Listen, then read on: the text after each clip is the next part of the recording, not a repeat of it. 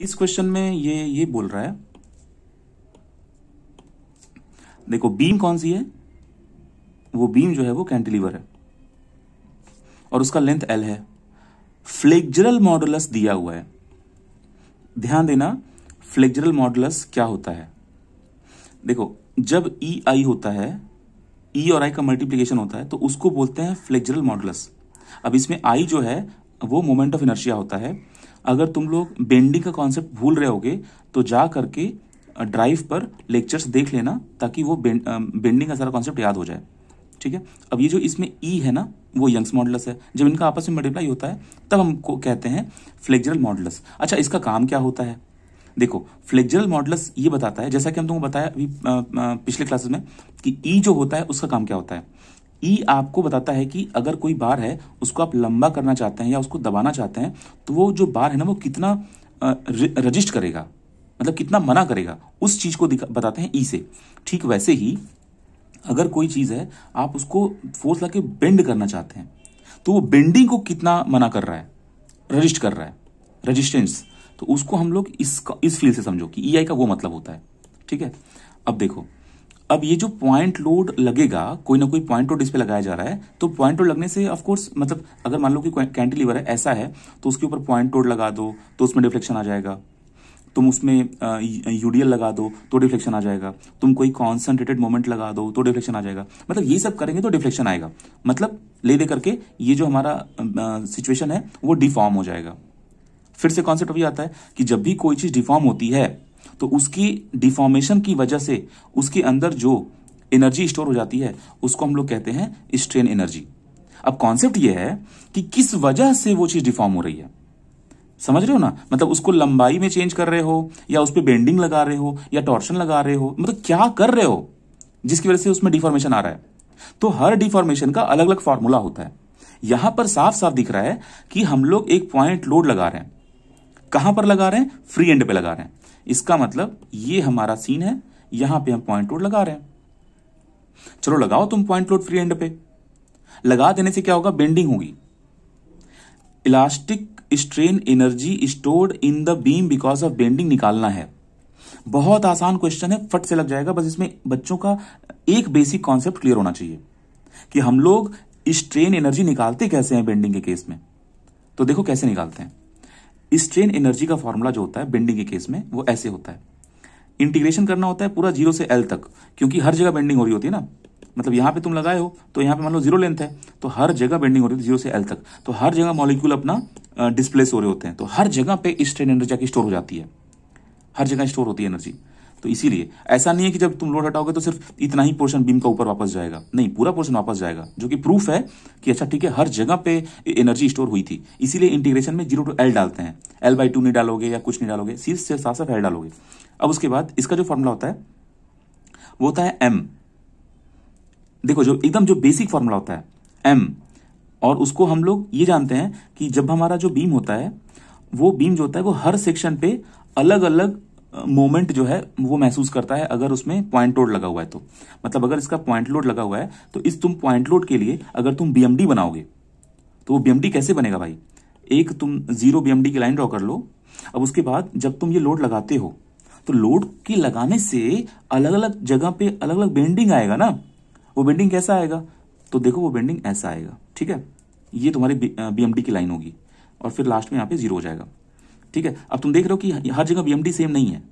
मतलब हर जगह जो बेंडिंग मोमेंट है वो सेम नहीं है। क्योंकि बेंडिंग मोमेंट डिपेंड किस पे करता है? वो डिपेंड करता है ना कि इस फोर्स का कितना लेंथ से तुम मल्टीप्लाई कर रहे हो। इस फोर्स का मल्टीप्लाई कितने लेंथ से कर रहे हो? तो लेंथ इधर बढ़ता जा रहा है, इसीलिए तुम्हारा बेंडिंग बढ़ता जा रहा है। ठीक है? तो इसी वजह से हर जगह पे ऊर्जा अलग अलग होगी। तो इसीलिए हम लोगों को हर जगह की ऊर्जा इंटीग्रेट करना होगा। तो इसीलिए हम लोग इंटीग्रेशन यूज़ कर रहे हैं। इसका मतलब ये हुआ कि हम लोगों को ये समझना होगा कि अच्छा ठीक है, अगर बेंडिंग हो रही है तो इसका मतलब बेंडिंग जो है वो लेंथ का फ़ंक्शन है। मतलब जो मोमेंट है, वो लेंथ का फ़ंक्शन है, वो कॉन्स्टेंट नहीं है। तो इसका मतलब ये जो एम है ना, ये कॉन्स्टेंट नहीं होगा, ये फ़ंक्शन होगा। तो इसका मतलब हमको बताना पड़ेगा कि ठीक है, किसी सेक्शन एक्स एक्स पर आप पहले बेंडिंग चेक कीजिए कि उतने वजह से कितना उसमें एनर्जी स्टोर हो रहा है। ठीक? अब उसके बाद हम लोग उस सेक्शन का लेंथ डीएल डीएक्स मानते हैं। हम एकदम बेसिक फॉर्मूले पे आ रहे हैं कि एकदम बेसिक फॉर्मूला क्या होता है? यू निकालने का। एकदम बेसिक फॉर्मूला ये होता है। फिर उसको आप डिवाइड कीजिए। और उसके बाद टू ई आई ये भी एक्स एक्स पे कर दीजिए। अब देखो, हम लोग जब ये चीज़ कर रहे होते हैं तो इसमें जो आई होती है ना, उस आई में एक चीज़ ध्यान रखना होता है कि ये आई न्यूट्रल एक्सिस वाला लेते हैं। मतलब न्यूट्रल एक्सिस के अबाउट जो मिल रहा होता है। इसका क्या मतलब है, बताते हैं यहाँ पे देखो।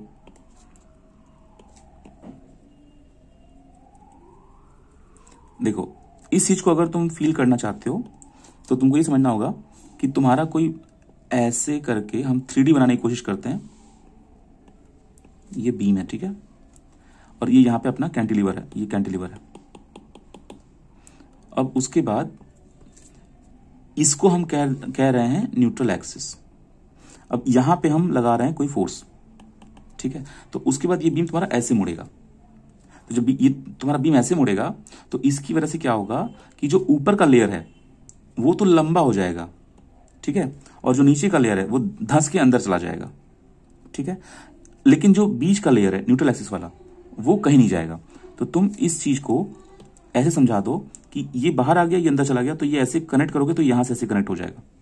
तो अगर तुम फ्रंट पे देखोगे इसको, इस वाले डायग्राम को तो वो ऐसा ऐसा दिखेगा। ठीक है? ऐसा। मतलब ये लाइन ऐसे ड्रॉ कर दो, ये ऐसे ये ऐसे ड्रॉ कर दो। मतलब ये लोग बाहर जा रहे हैं और ये लोग अंदर जा रहे हैं। ऐसा दिखेगा। तो न्यूट्रल एक्सिस के अबाउट हम लोग मोमेंट ऑफ़ इनर्शिया निकालते हैं। अब moment of inertia neutral axis के अबाउट ही क्यों निकालते हैं? क्योंकि ये जो तुम्हारा राइट साइड का जो प्लेट है, ये जो प्लेट है, इसमें ना एक तरह का मोशन आया है। रोटेशनल मोशन आया है।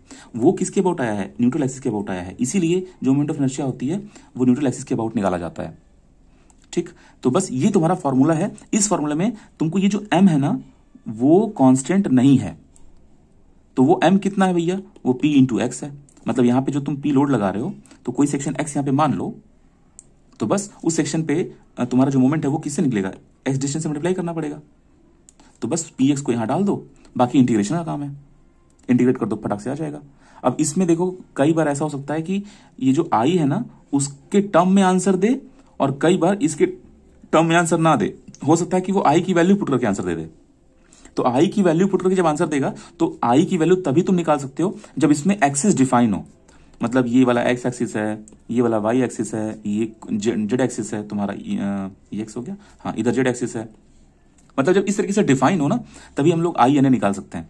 लेकिन फ़िलहाल इस वाले क्वेश्चन में, अगर तुम देखो तो यहाँ पर आई के टर्म में ही आंसर दिया हुआ है। तो आई का टेंशन लेने की ज़रूरत तो नहीं है। बस हम लोगों को इसको सॉल्व करना है। बस वही सॉल्व कैसे करना है? फटाफट आंसर डालो और खटाखट आंसर आ जाएगा। तुमको बस एक ही जगह में इंटीग्रेट करना है। मतलब अब तुम्हारा जो यू निकलने वाला है, उसको तुम ज़ीरो से एल के लिए इंटीग्रेट करोगे और उसके बाद वैल्यूज़ पुट करोगे। एम की वैल्यू कितनी पुट करोगे? पी इंटू एक्स पुट करोगे। डीएक्स को डीएक्स छोड़ दो। अब उसके बाद तुम टू ई आई को ऐसे छोड़ दो। दिमाग में पता रहना चाहिए कि जो आई होता है, वो न्यूट्रल एक्सिस के अबाउट होता है। अब उसके बाद तुम इंटीग्रेट करो। जब इंटीग्रेट करोगे हाँ यहाँ चीज़ मिस्टेक हो गया स्क्वायर होता है। एम स्क्वायर होता है, ठीक है? तो अब इसको तुम स्क्वायर करो इंटीग्रेट करो। तो क्या क्या बाहर निकल रहा है, उसको बाहर निकाल लो जो जो कॉन्स्टेंट उसको बाहर निकाल लो। तो यहाँ पे P square two E I ये सब कॉन्स्टेंट बाहर निकाल लो। P square by two E I constant है, बाहर निकाल लो, खत्म। ये ज़ीरो टू एल डाल दो। अब यहाँ पे एक्स स्क्वायर डी एक्स आ गया। अब इसको इंटीग्रेट करो। तो ये पोर्शन जब इंटीग्रेट होगा तो इसका आंसर तुम लोगों को पता हो, पता है कितना आएगा? एक्स क्यूब बाई थ्री आएगा। अब वहाँ पे ज़ीरो टू एल डाल दो तो मतलब एल क्यूब बाई थ्री आएगा। एल क्यूब बाई थ्री आएगा। तो साथ साथ तुमको दिख रहा है क्या मिल रहा है? P square L cube by six E I मिल रहा है। ठीक है? P square L cube by six मिल रहा है। अब हम लोग इसको आंसर को चेक कर लेते हैं। ये P square L cube by six मिल रहा है हमको। पहला ऑप्शन करेक्ट हो जाएगा। अब बताओ, इसमें कोई डाउट हुआ? बताना। टोटल क्लियर हुआ? क्रिस्टल क्लियर होना चाहिए। हाँ एकदम क्रिस्टल क्लियर हाँ दूध का दूध, पानी का पानी, कहीं कोई डाउट नहीं होना चाहिए कि आई को कैसे लेना है, इसको कैसे लेना है, क्योंकि क्वेश्चन एक एक क्वेश्चन को डिटेल में जब हम समझा रहे हैं तो उसका मतलब एकदम फ़र्स्ट क्लास बनना चाहिए। ठीक है? चलो फिर ठीक है। आगे बढ़ते हैं। आ, ये क्वेश्चन तो हो जाएगा आप लोगों से।